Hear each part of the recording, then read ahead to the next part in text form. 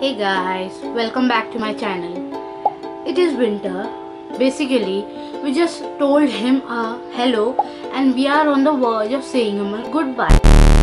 Then, in this meantime, while uh, we have winters, mostly we catch something which makes our nose runny. What is it? It is cold. So, in this video, we shall know about some basics of cold.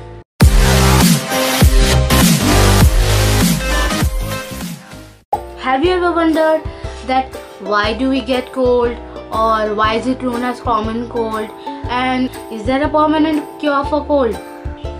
So stay tuned on this channel and you shall walk away with many facts which you didn't know about cold. Cold. They are the kid which keeps on nagging for something which it wants from us. Let us now warm it up and then know about cold. Got it, got it? Just because we are talking about cold and we are warming it up. Enough is enough. Actually, first, a fact. This is the video which I have shot three times, and every time I shoot it, my memory card gets corrupt. I don't know why, but I will try my best to deliver some of the uh, facts to you. First, what is cold? It is basically the infection of our throat and nose. Did you know that there are nearly 10 million cases What? per year in India where patients fall sick due to common cold? Let us know some facts about cold. It can spread easily. Every time you have a contact with some person who have a virus, you can easily catch cold. Second, it is self-diagnosable. Every time you get a runny nose, high fever, congestion, cough, you immediately know that it is cold. It is self-treatable.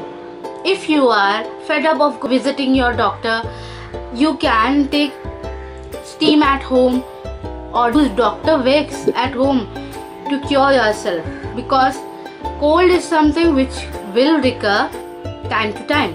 Then you might be asking yourself that why is cold known as common cold? See, for example, if there is something in your area uh, which is found very commonly, suppose any hotels or shawarma points, for example, then it is common. In the same way, since the nature of cold is to recur and come again and again, and the virus enters again and again into our body, and we have a cold, that's why uh, it is known as common cold. Did you know that our body also cannot develop a permanent resistance for cold as it is so recurrent? Have you met any person who hasn't caught cold yet? Let me meet that person because I bet uh, that kind of person uh, doesn't exist on this earth because the cold are so common. What viruses cause cold?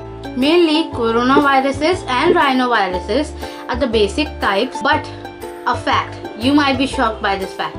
There are nearly 200 types of viruses which can cause you cold.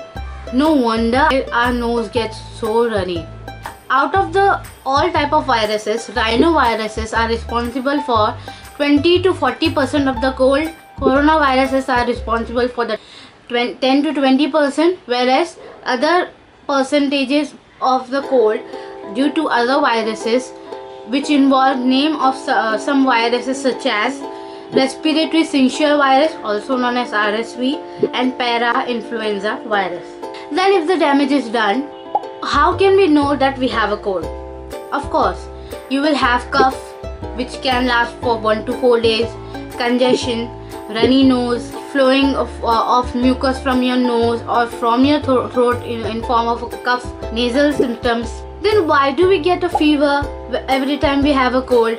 That is just because See, it is our body's mechanism to stabilize the body temperature. Every time a virus enters into our body, the thermostat of our body gets unstable. In order to stabilize it, our body starts working up and produces WBCs. In that meantime of production of WBCs and um, fighting against such entry of viruses, we experience cold and we get a fever. having fever is actually good for you because uh, due to high temperature of the body the WBC production increases and bacterial reproduction decreases. What is the normal duration of cold? Mainly 1 to 4 days depending upon when you caught it. Then if the duration of the cold exceeds, what should we do? Is it cold or is it something else?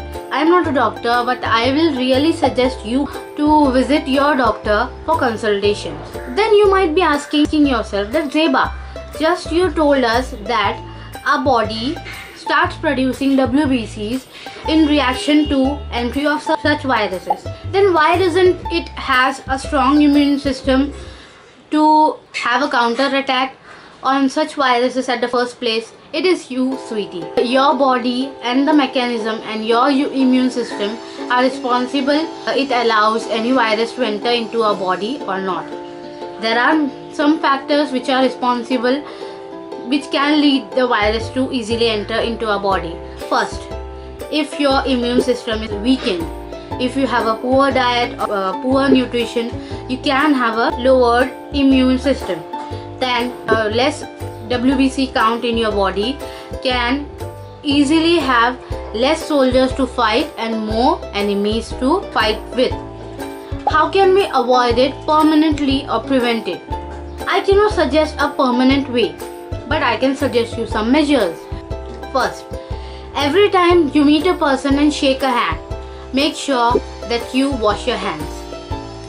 Wash your hands with soap or sanitizers. They work equally. I just went through a video which was done by AsapSCIENCE where they compared the effectiveness of a soap and sanitizers is really nearby same. They both are able to kill germs. Look for this ingredient into your soaps and uh, bactericidal soaps and sanitizers.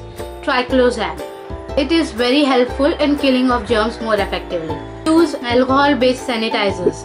Every time you uh, walk out in public or return to your home from outside, make sure you wash your face, hand and feet because they are the body parts which are more in contact with the surrounding compared to any body, other body part of your body. Keep your surroundings clean. Keep yourself clean. Avoid getting close to people who are sick and who might have a cold. And if you have a cold, make sure you have a hanky in your hand so that you don't spread any uh, combination of virus from that 200 uh, species to anyone else. Then why do we have a runny nose every time we have a cold? That is just because, see actually having a runny nose is very good for you. I will show you why. The mucus, there is a mucus lining in our nose. Every time we have a fever or cold, that mucus lining produces a combination of a fluid and mucus which actually helps in flushing out all the germs from our body or in our system which is actually good. So there you have it. This is all i had. I love doing this kind of videos. Uh, if you guys want me to do such kind of videos do comment below. I love to read your comments and i reply to every one of them not because i'm free because i care about you a lot. Thank you family. Thank you everyone who is watching this channel. This is my fourth attempt of recording this video. So i hope you liked this video. And if you liked it don't don't forget to comment like and subscribe. And hit that bell icon so that every time i upload a video you get a ping. Thank you for coming here. Bye bye from zeba